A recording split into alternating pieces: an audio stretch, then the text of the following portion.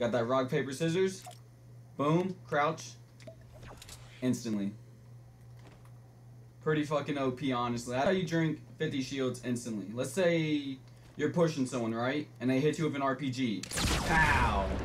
90 HP, right? What you want to do is retreat. Build up.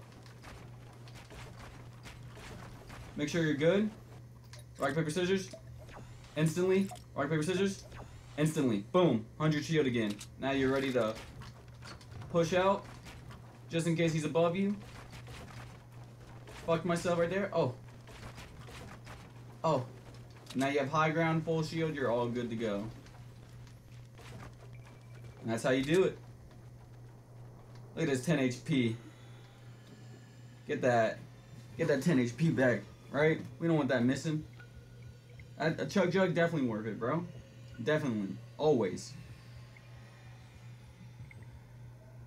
I'd do it for one. Shit.